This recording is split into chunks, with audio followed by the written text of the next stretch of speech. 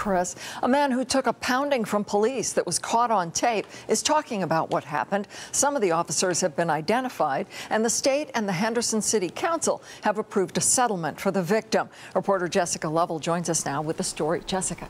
Paula, the victim in this case, is hoping that what happened to him will help bring awareness to the way officers are trained to deal with people with medical conditions.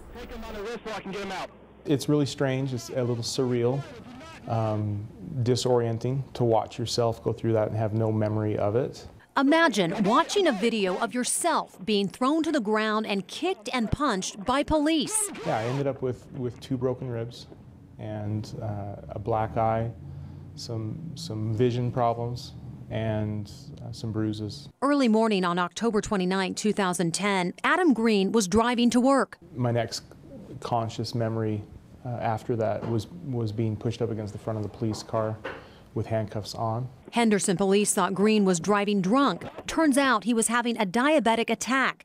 In the tape, you can see three of the officers, identified as Henderson Sergeant Brent Seacatz and NHP Trooper John Sidney and Sergeant Anthony Bandiero, taking Greene down. I think it's apparent from watching the tape that I wasn't resisting in any way. Found some insulin in his pocket. Soon, officers realized Greene had blacked out from his medical episode and did call for help. It's been a year since this happened, and for Greene, it's actually what he can't remember that's helped him move forward. I think it helps that I don't remember it. I think that's a big help. And I'm, I'm far removed from something that was so personal.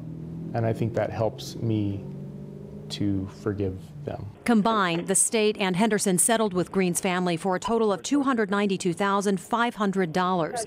And when asked about his feelings towards our local police force, we, we hold no ill will towards the uh, officers involved or the other police officers that are in the city. And we support them, and, and we're ready to move on.